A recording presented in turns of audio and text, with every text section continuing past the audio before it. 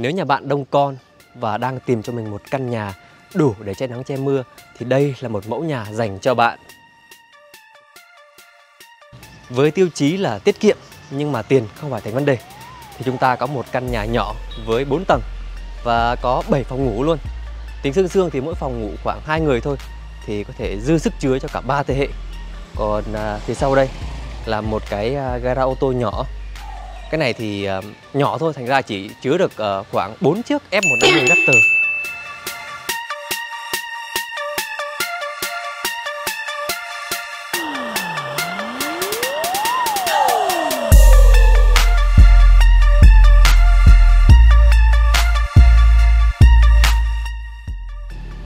Phần hàng rào thì nói chung cũng rất là bình thường Y chang như những căn biệt thự siêu sang khác thôi Cái cổng vào của nó này Bự y chang như cái dinh độc lập vậy đó và họa tiết nhôm đúc.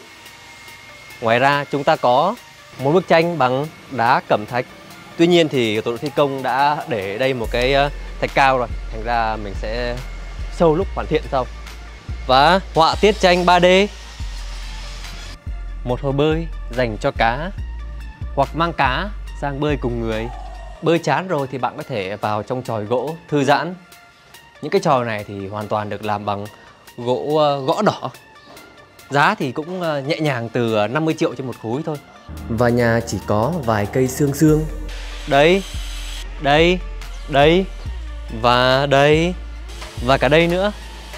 Và còn hơn 50 chậu cây nữa đang chờ hoàn thiện để mà mang vô nhà Nói chung là khi hoàn thiện thì đây sẽ là một ngôi nhà cổ điển mà ngập tràn mảng xanh luôn Và đây là vị trí cổng vô nhà bên phải còn đây là vị trí vô nhà từ bên trái Còn đây là vị trí vô nhà chính giữa Lan can của bậc tam cấp được làm toàn bộ bằng đá cẩm thạch trắng, tinh, khiết và khắc tinh xảo Toàn bộ các vị trí trần nhà và cửa thì đều được làm bằng gỗ gõ đỏ. Ở chính giữa nhà là một họa tiết chống đồng công sơn rất là cầu kỳ và sắc nét. Vô trong nhà thì thực sự là rất là chói lóa nha quý vị. Tất cả các vị trí phào chỉ hoa văn của Trần thì đều được dát vàng và bạc. Nó ánh kim lên thì nó rất là sang trọng luôn. Và phía bên tay phải của Dũng đây là một khu vực để mà tiếp khách. Còn vị trí chính giữa sẽ là khu vực uh, sảnh chính thôi để chống. Còn bên cạnh đây sẽ là một khu vực bán ăn của bếp thôi còn hãy theo chân Dũng vào khu vực bếp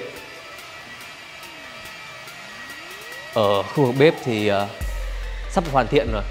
Đang ờ, các cái uh, tủ bếp bằng gỗ thì đang được uh, xếp lên đây và chờ lắp đặt thôi.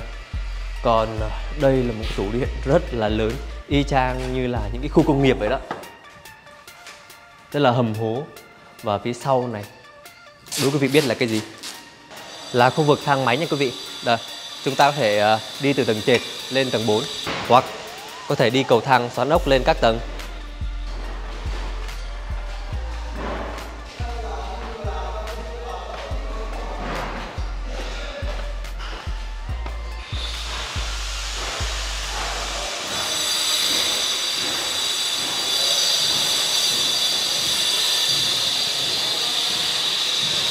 Hiện tại Dũng đang ở tầng 2 Đây là khu vực sảnh chờ.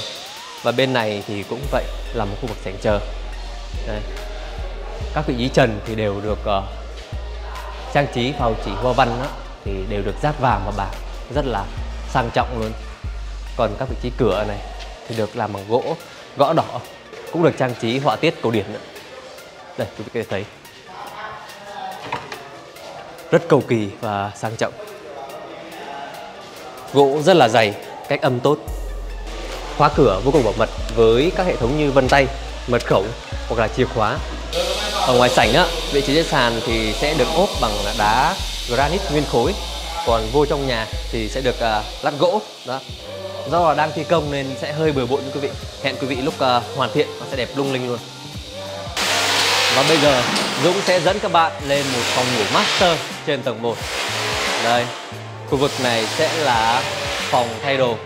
Còn phía bên tay phải bên đây sẽ là một cái nhà tắm rất là lớn Nơi mà nó sẽ chứa một cái bồn tắm tròn như thế này vô Đó, rất là kinh khủng Sẽ bật mí lúc hoàn thiện thôi. Còn bây giờ sẽ vô phòng ngủ master là như thế nào? Đây. Vô phòng ngủ master là một cái cửa sổ rất là lớn cũng là một cái ban công thứ hai của phòng ngủ master luôn đây quý vị thấy phía trên này là hai cái ống điều hòa. Đó hai ống hòa. Nó được giấu vào trần này rất là đẹp. Và hệ thống đèn nó được uh, hai loại thường hai loại. Một là đèn spotlight và đèn uh, downlight sẽ uh, tùy vào gia chủ muốn sử dụng loại đèn nào mà có thể bật cho cái nhu cầu sử dụng của mình. Còn đây là vị trí giường của phòng ngủ master. Các bạn thấy là bên này là vị trí ổ cắm bên kia là công tắc chúng ta nằm bên giường thì dễ dàng có thể lăn người bên này để mà cắm ổ điện sạc điện thoại hoặc là qua bên này tắt đèn đi đi ngủ. Rồi. Và các ổ cắm của lưu thiết kế và thi công á thì ờ, thường có độ an toàn rất là lớn. Thứ nhất là nó sẽ chịu tải cao. Đó. Thứ hai là nó sẽ có những cái um, chốt an toàn. Nếu chúng ta cắm điện vô á thì uh, nó mới sạc điện còn uh, lại là nó sẽ an toàn với trẻ em chẳng hạn như trẻ em mà đút tay vô đây thì nó sẽ không thể nào mà giật được bởi vì nó có nhựa nó chặn lại rồi.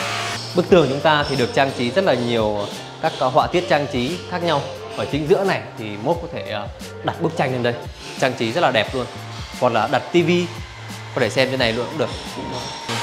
Hiện tại thì Dũng đang đứng ở phòng thờ của gia chủ. Ở đây thì được trang trí bằng hai cây cột gỗ ha khá là to và vững chãi. Thì nó làm cho mình uh, liên tưởng đến cái sự uh, che che chở của bề trên vậy đó. Còn uh, các chi tiết uh, trang trí gạch ở đây thì uh, không biết ý đồ của người thiết kế sao nhưng mình cảm nhận được là nó khá là giống những cái chi tiết rèm tre cổ ngày xưa còn uh, đến màu sắc của phòng thờ thì thấy là màu nâu nâu với vàng thì nó nó rất là ừ, nhẹ nhàng. Ở đây qua cái vị trí này các chi tiết phào chỉ hoa văn thì được uh, lấy từ gỗ và nhựa đó. Còn vị trí trần quý vị có thể xem. Chính giữa trần là một cái bông sen. Và mình đang ở tầng 4 của tòa nhà. Và đây là khu vực phòng hát karaoke của gia đình. Một cái phòng rất là rộng luôn có thể lôi cả gia đình lên hát hò được. Và phòng này thì rất nhiều hệ thống đèn đóm rồi đèn led này. Nói chung là tất cả hệ thống ăn chơi của phòng karaoke có thì ở đây cũng có ở đây sẽ là cái vị trí mà lắp đặt à, uh, tivi để chúng ta có thể hát karaoke. Bên cạnh đó thì có rất nhiều các vị trí khác để trang trí như là cái để cái thảm này rồi cái bức gương rồi cái đầu hương trang trí này và còn rất nhiều các hạng mục khác nữa nhưng mà hiện tại đang thi công thôi. Hẹn quý vị ở lúc hoàn thiện nhé. Xin chào và hẹn gặp lại ở những video tiếp theo.